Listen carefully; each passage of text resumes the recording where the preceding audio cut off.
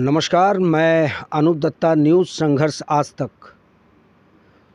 दोस्तों, समूचा, अंडमान, निकोबार द्वीप समूह, करीब ढाई साल, पौने तीन साल कह लीजिए, कोरोना के मार से जूझता रहा। अब उबरने की कोशिश कर रहे हैं और करीब करीब उबर चुके हैं, फिर से अंदेशा है। इसके साथ साथ कहीं ना कहीं लोगों के जो काम रुके हुए थे, गरीब जनता की जो काम नहीं हो रहे थे, इलेक्शन रुका हुआ था, उस पर पाबंदियाँ थी और इलेक्शन आखिरकार हुई और जनता में आज बंधी कि अब जो है, कुछ जो है बेरोज़गारी के मुद्दे पे या जो दाम, जो ज़रूरत की चीज़ों के दाम है, वो बढ़ रहे हैं। इस मुद्दे पे कुछ रियायत मिलेगी। इसके अलावा जो काउंसिल का इलेक्शन हुआ, म्यूनसिपल काउंसिल एक आस की नज़रों से देख रहे थे जनता कि म्यूनसिपल काउंसिल में अब हमारे चुनिंदा इलेक्टेड काउंसिलर बैठे हैं, अब हमारे फुटपाथ बनने हैं, हमारे वॉल्स बनने हैं, कहीं शौचालय बनना है। इस तरह के जो काम आमतौर पे लोग उम्मीद लगाए बैठे थे काउंसिल से, अचानक से एक न्यूज़ जो खबर हमने कल देखी वो विषय बिल्कुल हटकर था और कहीं ना कहीं जनता के उम्मीदों को चोट पहुँचाने वाली थी कि म्यूनसिपल काउंसिल इन मुद्दों पे ना जाकर एक आपसी कोई रंजिश लग रहा है जिसके चलते काफ़ी माहौल गरमाया हुआ है जिसमें आप लोगों ने देखा होगा वाइस चेयरमैन जो है senior vice chairman Azizur Rahman ji आ, वो तुरंत सब कमेटी के मीटिंग के बाद वो प्रेस को उन्होंने इंटरव्यू दिया और कहा कि करीब 800 से ज़्यादा ऐसे वायोलेशन है वायलेटेड बिल्डिंग्स हैं जो बने हैं। लेकिन ये तब तक सही लग रहा था, लेकिन उसके बाद तुरंत कहीं ना कहीं किसी एक व्यक्ति पे आके वो केंद्रित हो गया। ऐसा लग रहा था कि जैसे कोई आपसी रंजिश का मामला हो कि आठ सौ बावन जनता ये जानना चाहती है आठ सौ बावन या उससे अधिक आंकड़े अभी हम जानेंगे उससे अधिक आंकड़े है या नहीं है। अगर वो ध्यान केंद्रित करते और जनता को ये कहते कि म्यूनसिपल काउंसिल आने वाले वक्त में इन तमाम वायलेटर्स के एगेंस्ट में क्या सख्त कार्रवाई करने जा रही है ये ना हो के आ, किसी पे पर्सनल अटैक करना ये हमारे जर्नलिज़म के भी खिलाफ है कवरेज करना कि किसी एक व्यक्तित्व के बारे में आप फोकस करें और किसी पे प्रहार करें उसके व्यक्तिगत छवि पे।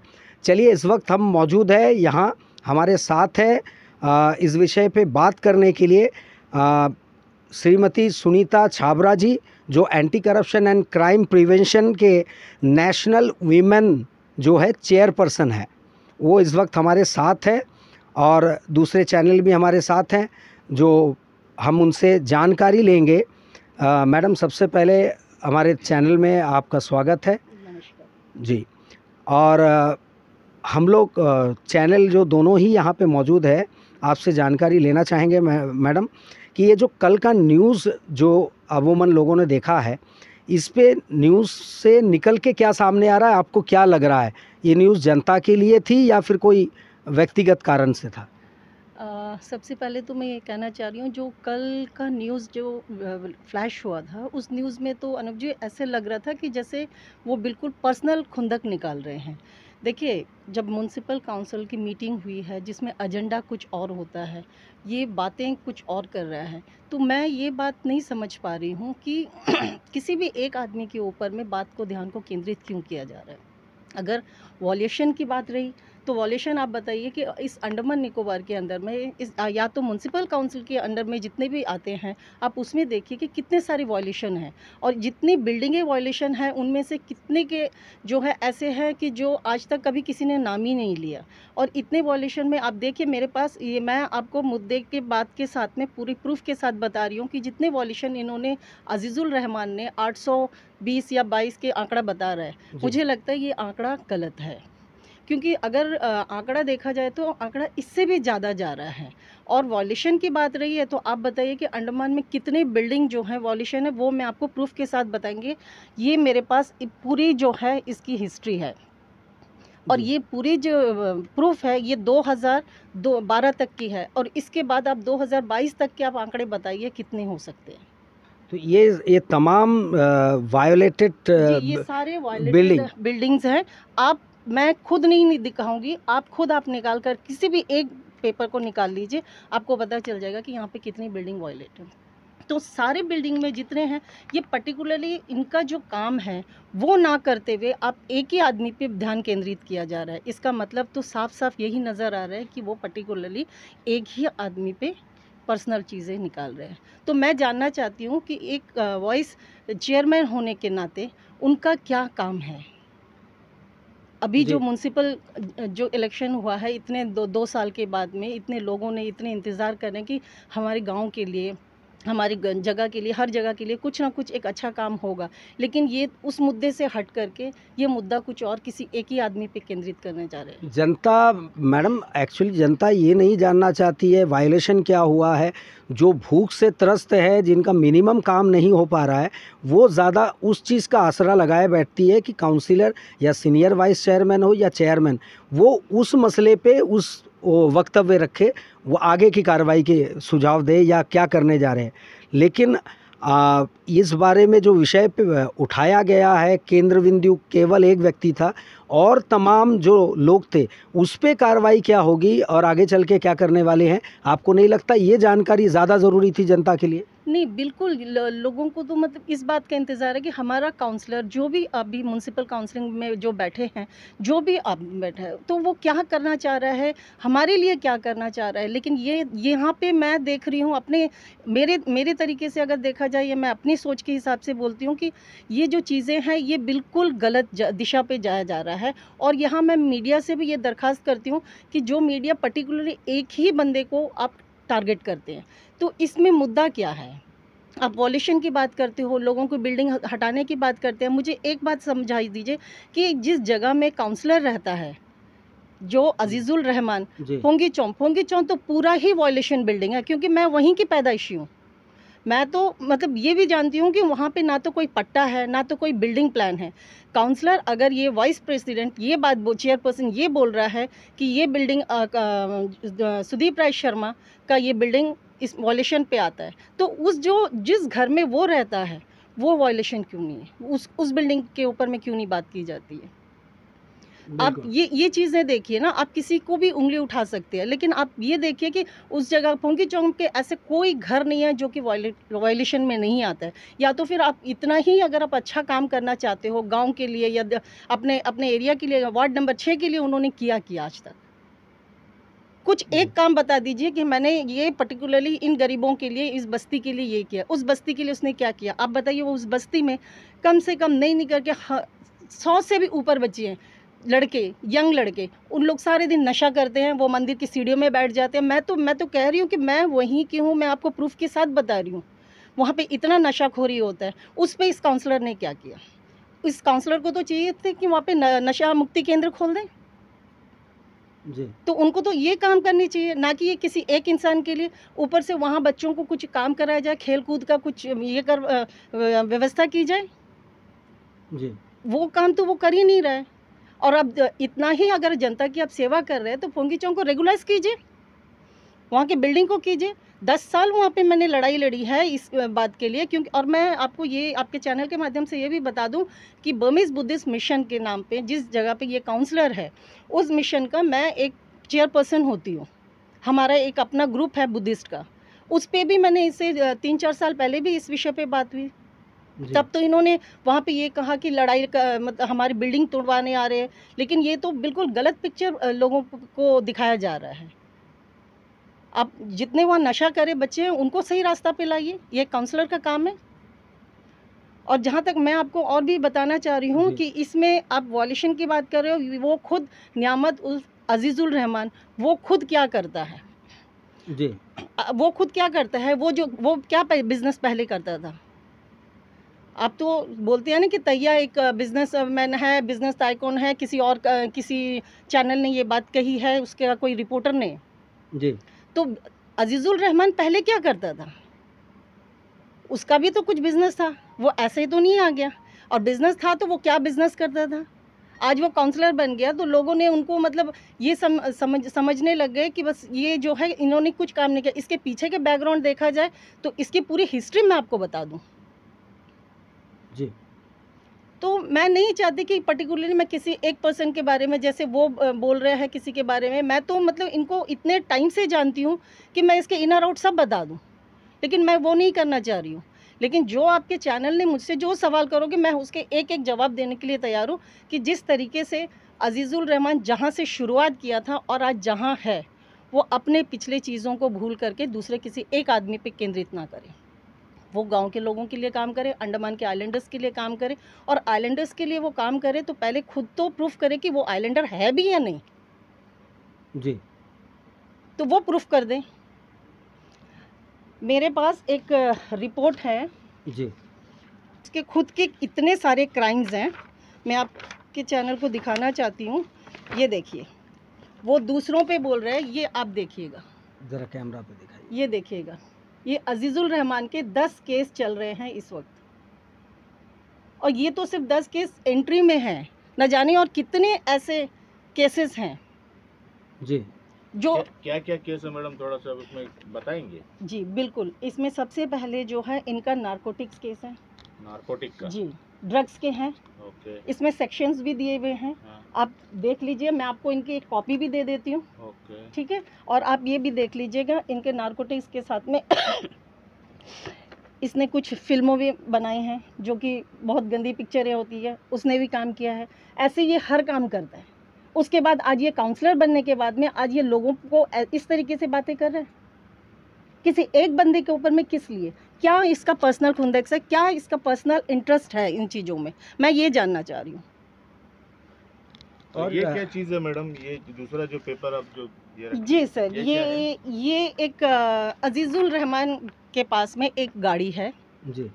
जो स्कॉर्पियो पर्सनल यूज़ करता है। अच्छा। वो गिफ्टेड है। गिफ्टेड है? जी। अब गिफ्टेड देने वाला बंदा भी जो है वो आईएमएफसी का जो ओनर है मिस्टर अली, अली। अभी हाल ही में जिन जिनको जेल हुआ है 28 साल का। मर्डर केस मर्डर केस का। अच्छा। उस बंदे ने इनको गिफ्ट किया है। आप बताइए कि इनका रिश्ता उनके साथ क्या है जो कि एक दस दस से बारह लाख का स्कॉर्पियो किसी को गिफ्ट कर दे? मैं ये जानना चाह रही हूँ। ये जो डॉक्यूमेंट है ये उन गाड़ी ये ये गाड़ी का डॉक्यूमेंट है ये गाड़ी का नंबर है। आप देख सकते हैं। ये ये बड़ा ये बड़ी ही सनसनी खेज आपने खुलासा किया है। तो मैडम हम जानना चाहेंगे चूँकि आप क्राइम प्रिवेंशन से है और आप पद पे आसीन है तो ये जो बंदा है हमने हाल हाल ही में पूरा डिटेल ये कोई मिस्टर अली है जिनको 28 साल की सजा हुई, बच्चा केरला में पढ़ रहा था वहाँ से उसका किडनैपिंग किया गया। उसके बाद हाँ जी पैसे मांगे गए फिरौती के पैसे मांगे गए उसके बाद उसकी हत्या हुई आ, और हाईवे में उसकी डेड बॉडी मिली थी। तो ऐसे लोगों के साथ तार जुड़े होने के बाद आप ये क्राइम प्रिवेंशन के पद पे हैं अभी चेयरपर्सन के तो आप अपने तरफ़ से क्या कदम उठाएँगे? सर मैं तो खुद अब ये चाहती हूँ कि जिन इस तरीके से चीज़ों को दोबारा से इंक्वायरी किया जाए और इनको ये भी पता किया जाए कि जैसे अब कि ये पोंगी चौक का जन्मा है। मैं दावे के साथ ये बात कह सकती हूँ कि ये पोंगी चौक का जन्मा है नहीं और इसका रेसिडेंस जो है क्योंकि इनका डेट ऑफ़ बर्थ के हिसाब से ये वहाँ पे जन्मा ही नहीं है। जी। आप मुझे प्रूफ कर दीजिए। कि ये जो है फेक रिपोर्ट ये ऑफिशियल रिपोर्ट है। ऑफिशियली ऑफिशियली आप बताइए कि अजीजुल रहमान तो 90s में आया है अंडमान। वो तो लोकल भी नहीं है। अब एक एक क्रिमिनल का जो है संबंध किसी एक काउंसलर के साथ है जो कि अभी आज के डेट पे वो वाइस चेयरपर्सन बना हुआ है म्यूनिसिपल में। लेकिन अभी इसका बिल्डिंग भी जो है वायलेशन में है। तो इस विषय पे नियामत ने क्यों कुछ नहीं मुद्दा उठाया? अभी आपको मालूम होगा मैडम कि चार पाँच दिन पहले का बात है। हाँ जी। मैंने खुद हाईलाइट किया था वहाँ का इलेक्ट्रिसिटी का ऊपर में। हाँ जी मैंने देखा था वहाँ पे बिल्कुल ही मतलब एक मीटर का पूरा बिल्डिंग में वहाँ पे करंट दे रहा था। तो इसके विषय में कोई कुछ तो बोल नहीं रहा है। सर देखिए जो मैं खुद उस बिल्डिंग में रहती हूँ आई एम एफ़ सी की उसमें तीन फ्लोर था फिर चार बना पाँच बन गया। अब छः में भी उन्होंने एक हॉल टाइप बना रखा है। अब बताइए उसमें इतने ऐसे लगते हैं जैसे किसी चौल में हम रह रहे हैं और ऊपर से उसमें अगर कोई भी इंसिडेंस खुदा न खास्ता हो जाए तो कोई बंदा बचने का कोई सीन नहीं है पीछे से कोई रास्ता नहीं है जाने का। फायर एग्जस्ट नहीं। कोई फायर एग्जिस्ट नहीं है। और आप ये भी देखेंगे कि उस बिल्डिंग के अंदर में उतनी उसकी जो बनावट है वो बिल्कुल भी सही नहीं है। ये आप देख सकते हैं आप टेस्ट करवा लीजिए आप तुझे और इस तरीके के आदमी के साथ में इस तरह अजीज़ुल रहमान के संबंध है तो इससे क्या कहा जाएगा? ये मैं आपको पूछती हूँ आप बताइए कि ऐसे लोगों के साथ संबंध है और बातें वो एक किसी एक पर्सन के बारे में बात कर रहे हैं वो खुद क्या कर रहे हैं? इससे ये ज़ाहिर होता है कि ये तार जो है बहुत ही लंबा तरीका से अंडरग्राउंड जो है जुड़ा हुआ है। जैसे हमारे चेन्नई टू पोर्ट ब्लेयर केबल जुड़ा हुआ है हम लोग जो अभी ब्रॉडबैंड के जो हमारे केबल है ये उस तरह का जो है ये जुड़ा हुआ है जो पब्लिक को दिख तो नहीं रहा है लेकिन हाई स्पीड इंटरनेट चल रहा है। तो मैडम जी और ये दूसरा जो आप ये जो पेपर जो हाथ में लेके रखे हैं ये पेपर जो है ये किस चीज़ का है ये? से ये जो है नियामत के सारे गुनाहों के चिट्ठे हैं जिसमें इनके जितने भी केसेस हैं जो मैंने आपको पहले भी ये बताया था। ये कहाँ से कहाँ के रिपोर्ट है मैडम? देखिए सर ये सीबीआई की रिपोर्ट है। चलिए देख लेते हैं हम। सीआईडी के रिपोर्ट है मैडम। सीआईडी के रिपोर्ट है। रिपोर्ट्स हैं। आप इस सीआईडी के रिपोर्ट्स में आप देख लीजिएगा कि ये नियामत को जैसे बता रहे हैं कि ये पुंगी चौक का पैदाइशी है जो कि बिल्कुल भी नहीं है। क्योंकि ये आप कैसे कह सकती हैं कि ये यहाँ की पैदाइश नहीं है? नहीं है करके। इसलिए क्योंकि मैं खुद पुंगीचौ में रही हूँ, मेरा जन्म वहीं का है, मेरा घर परिवार वहीं का और मैं वहीं रहती हूँ। और ये जो, जिस साल का बता रहा है 82 का, उस टाइम पे मैं खुद 12 साल की थी। तो ये वहाँ कहाँ से जन्मा है? और उस टाइम पे तो पुंगीचौ में ऐसा कोई घर ही नहीं था।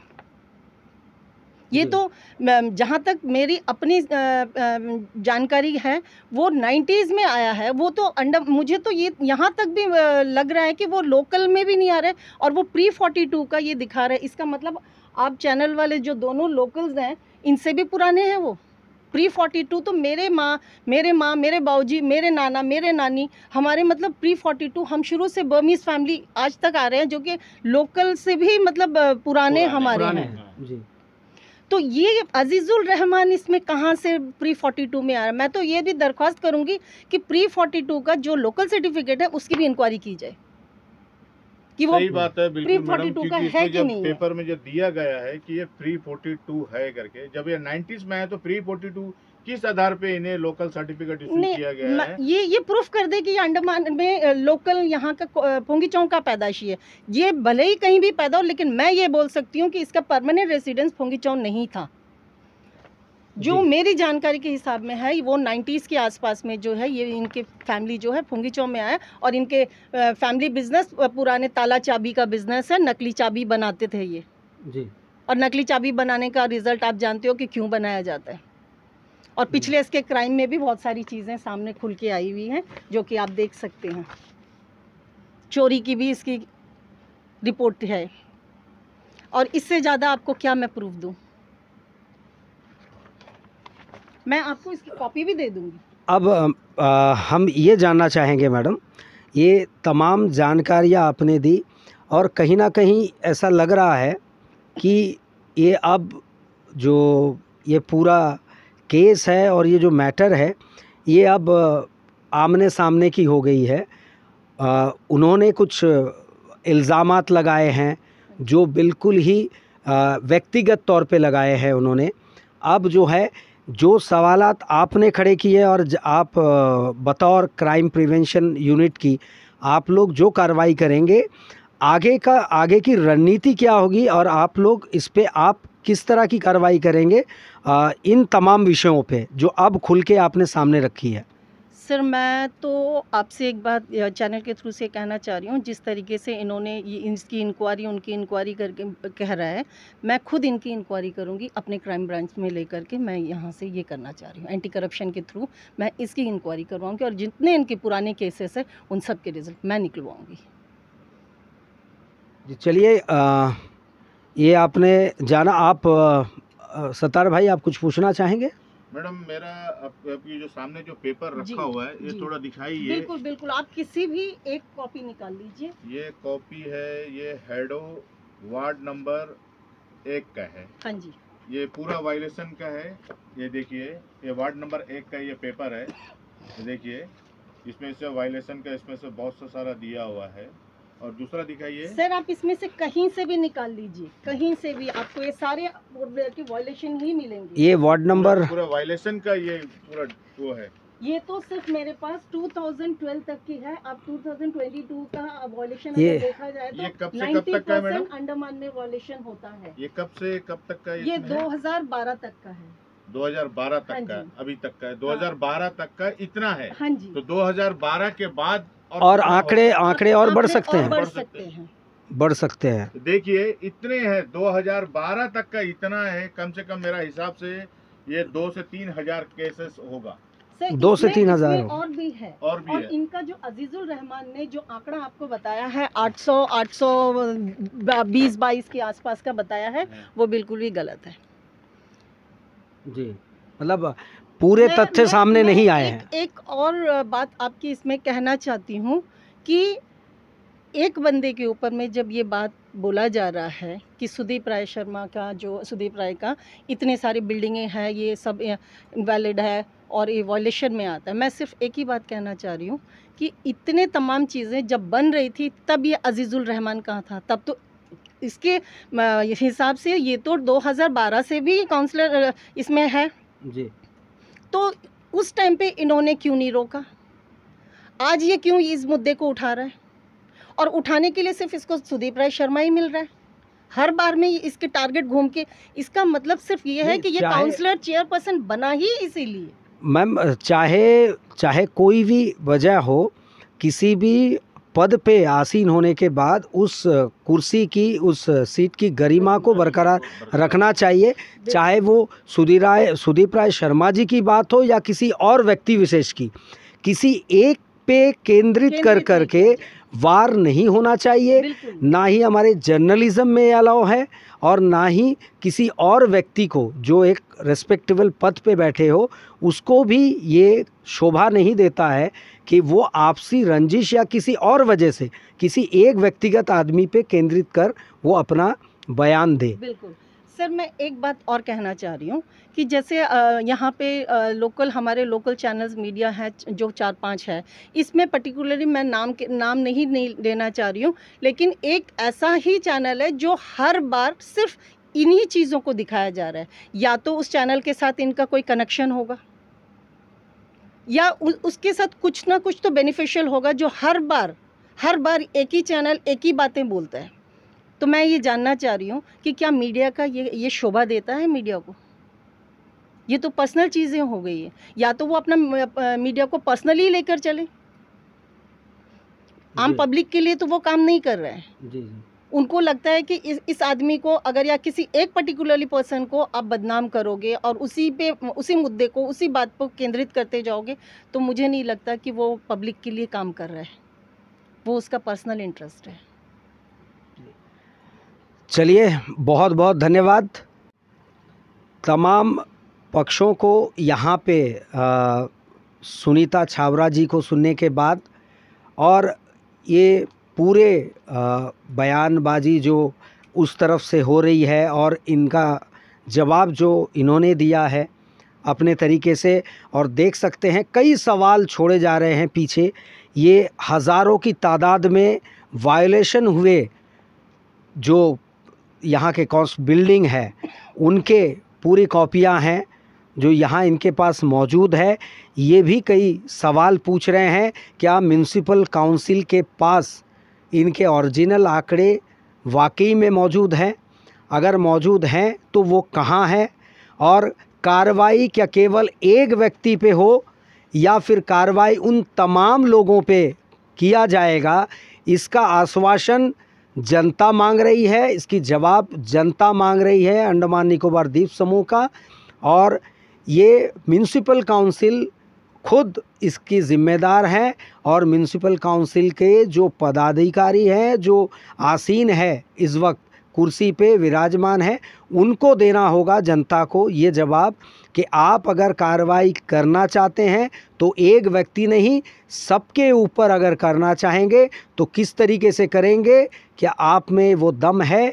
अगर नहीं है तो आप जो बेरोज़गारी है, जो भूखमरी है, लोगों की ज़रूरत है दिन के, प्रतिदिन के, हर वार्ड में फुटपाथ का मसला है, इस पे गौर कीजिए और इसको जल्द से जल्द पूर्ण करने की कोशिश कीजिए, इससे जनता खुश होगी, ना कि ये तमाम नोक झोंक से। इसी के साथ मैं अनूप दत्ता, कैमरामैन थॉमस के साथ, न्यूज़ संघर्ष आज तक।